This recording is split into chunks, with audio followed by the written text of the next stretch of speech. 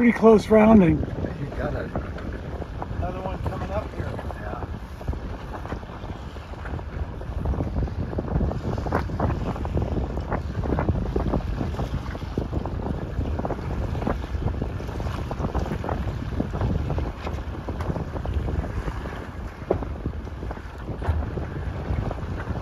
Closer. Wow.